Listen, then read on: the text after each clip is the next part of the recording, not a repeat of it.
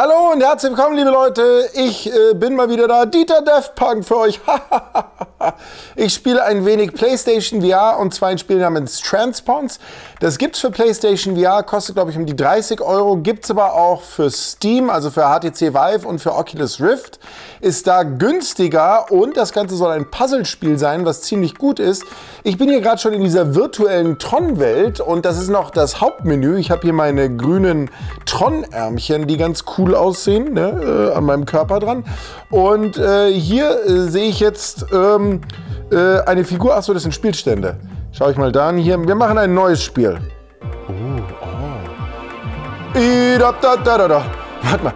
Ah, ach Mann, jetzt wollte ich gerade YMCA machen. Okay, crazy shit passiert hier. Ich werde hin und her gebeamt. Oh, wir beten dich an, großer Kristallball. Diese Welt war einst lebendig. Mhm.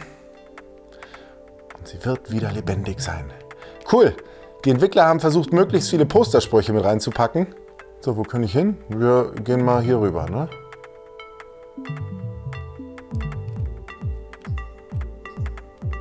Oh. Oh.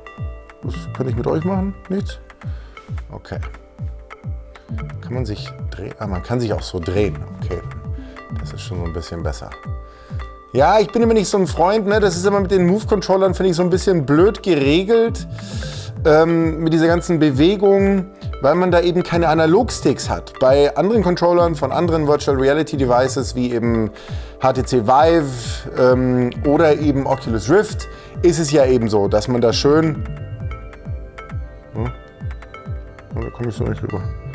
Dass man da schön äh, anderen Kram machen kann auch oder mehr Kram, weil man einfach ein bisschen mehr ähm, äh, Freiheit hat, dadurch, dass da eben Analogsticks sind. So. Aber ich mag irgendwie den Look. Ist ganz cool. Sieht auf PlayStation 4 Pro auch echt ganz gut aus. Ist hier auch eine relativ minimalistische Grafik. Ne? Da sind Tore. Bist du ein Tutorial, eine Tutorial-Figur, die mir zeigt, was zu tun ist? Das ist hier der, äh, der aus Destiny, der kleine äh, Roboter, Peter Dinklage. Okay, ja, nehmen wir dich darüber. Wird mir alles schön gezeigt. Zack. Wow. Okay. Jetzt gehen wir wieder zurück, oder? Ach genau, das war jetzt diese erste Tür. Wir sind von da oben oder hinten. Wende dich der Kamera zu. Oh, äh, da sind wir, glaube ich, gerade rein. Und jetzt haben wir eine Brücke, weitere Brücke. Ist ja egal. Wir, wir werden weiter zu diesen Toren gehen müssen. Und ähm, da kommen wir dann weiter zu neuen Räumen, die uns wahrscheinlich vor neue Herausforderungen stellen. Zeit ist ein Werkzeug. Gut, dann möchte ich jetzt auch äh, lernen, wie das äh, funktioniert, wie man damit umgeht. Ne? Rückkehr. Äh, äh, irgendwas muss ich jetzt mal machen, weil es ist gerade so ein bisschen. Das Spiel fängt an, mich zu verlieren. Es dauert mir jetzt schon alles zu lang. Springen wir hier rüber. Entferne den Kern, um ein vorangegangenes Echo einzusammeln. Okay, das erkennt man jetzt ein bisschen schlechter. Bist du der Kern?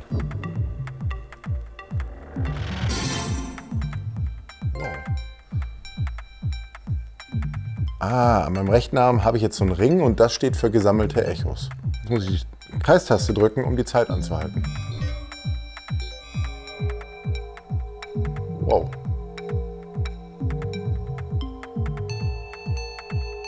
Was? Wähle behalten? Ich bewege dich vom Ursprung weg um deine neue Zeitachse. Ach, jetzt genau.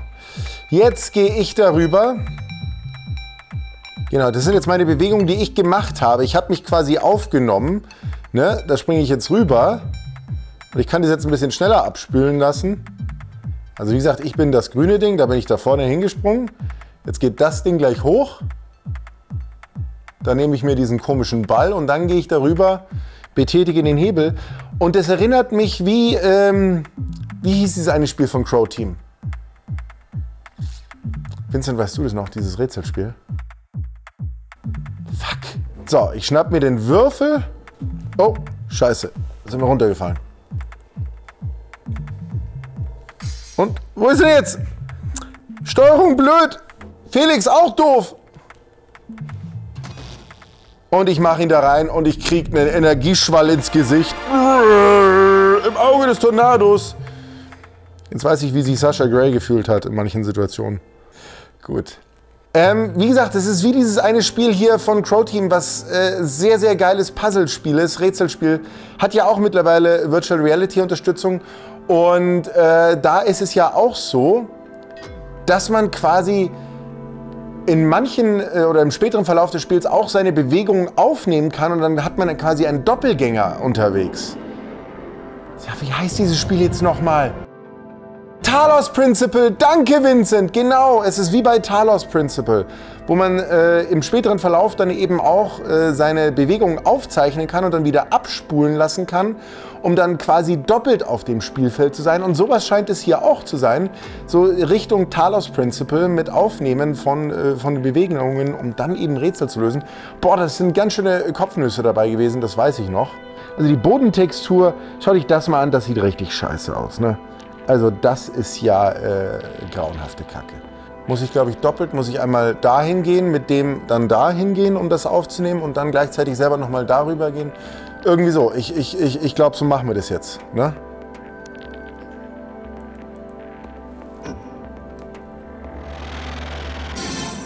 So, jetzt haben wir ein zweites Bändchen bekommen. Ist ja wie... Äh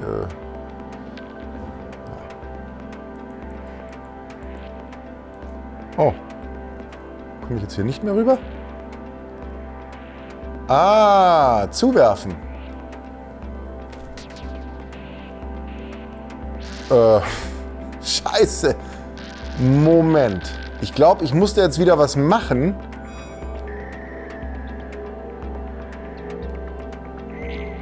Warte mal. Und jetzt bewege ich mich hier raus und jetzt müsste ich ja sehen, wie ich darüber gehe und dann werfe. Also das Spiel erklärt es einem nicht so richtig, aber es ist jetzt tatsächlich so, ähm, dass ich quasi das, was ich gerade eben die ganze Zeit gemacht habe, aufgezeichnet habe und jetzt nochmal abspielen lasse. Aber ich habe ziemlich weit geworfen. Ich drehe mich nochmal. Ich glaube, ich habe hier so hinter geworfen.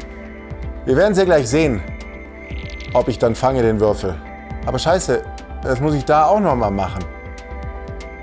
Shit! Oder? Weil das andere ist ja nur ein Beispiel. Oh, scheiße. Wir machen einfach nochmal behalten. Und jetzt gehen wir raus. Jetzt müsste ich ja quasi zwei von mir erschaffen haben. Ja, ne? Und jetzt kann ich eben schauen. Ich werde die niemals fangen. Hätte ich wahrscheinlich erst den einen fangen sollen und dann den anderen, ne? Oh Gott, das ist... Oh. Okay. Das wird so nichts.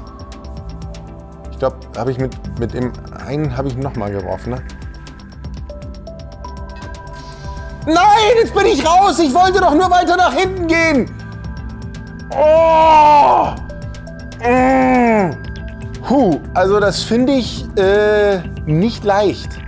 Nicht leicht. Weil es, es ist langwierig. Zack. Das Werfen ist halt echt komisch, ne?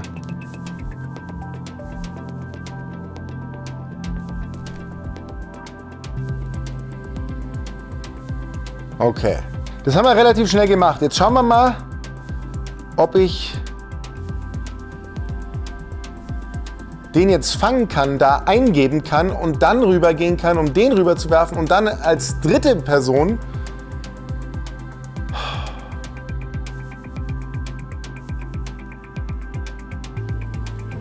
Ja. So. Jetzt gehen wir hier hin.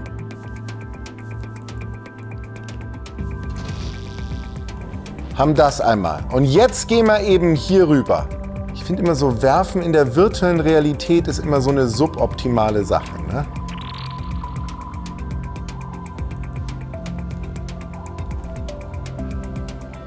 Okay, das müsste auch passen. Und jetzt machen wir nochmal. Halten, gehen raus. Na, da fange ich ja, äh, müsste ich ja mich selber fangen. Quasi äh, den Würfel. Und der andere landet hier. Ne? Da schaut her, wie meisterlich ich fange. Zack, super habe ich das gemacht. Aber jetzt komme ich hierher. Ah! Komm, komm dafür.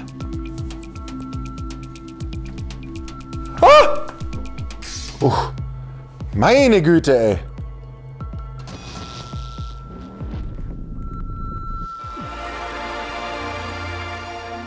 Oh, super.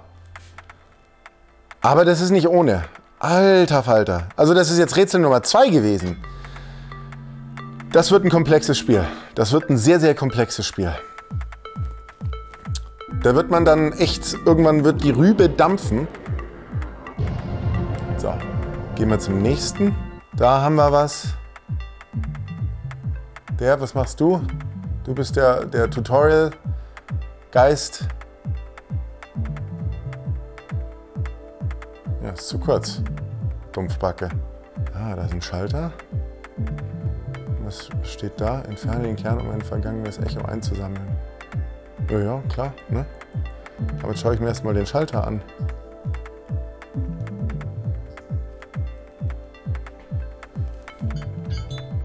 Oh.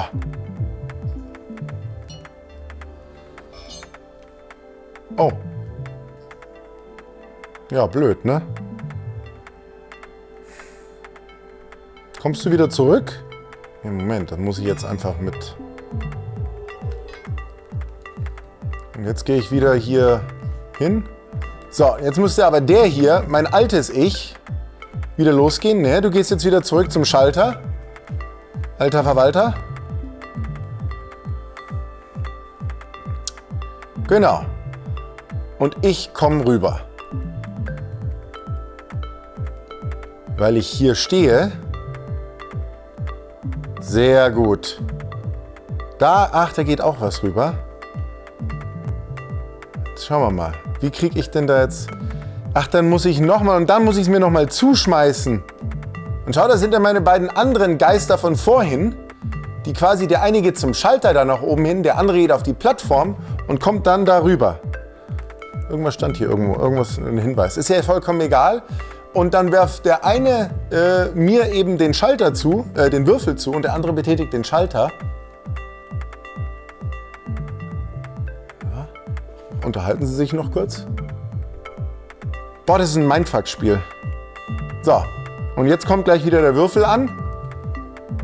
Ich bin in Fangposition. Komm zu Papa!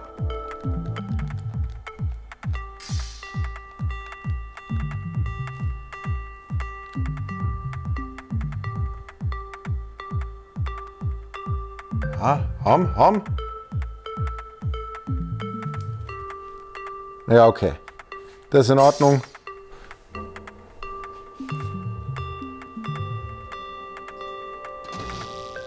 Zack. Und es geht los. Wir haben es geschafft. Meinst du, ich soll noch weitermachen, Vince, oder reicht es? Ja, das soll er gewesen sein. Ein kleiner Einblick in äh, Transpons für PlayStation VR. Von der Idee finde ich total klasse und super. Wie gesagt, erinnert mich an Talos Principle. Da gibt es im späteren Verlauf des Spiels auch eben die Möglichkeit, Kopien von sich selber zu erstellen, dass man dann Hebel betätigt äh, äh, und das dann eben einfach nochmal abspielen kann und dass die Jetzt-Figur dann weiterkommt. Und genau darauf basiert dieses Spiel eben auch. Was mich ein bisschen stört, ist einfach die Steuerung und wie das funktioniert. Ähm, finde ich nicht so ganz bequem bequem. Da weiß ich nicht, ob äh, auf Oculus oder äh, HTC Vive, ob das besser wäre, weil da gibt es Analogsticks. Hier mit diesem äh, Drehen finde ich so ein bisschen nervig. Ähm, ansonsten, ja, echt coole Idee. Ähm, wer Bock hat auf Puzzeln im virtuellen Bereich, ich denke mal, der wird damit durchaus seinen Spaß haben. Wie lang das ist, kann ich euch leider nicht sagen. Werde ich noch mal ein bisschen recherchieren, sage ich euch jetzt gleich in der Sendung.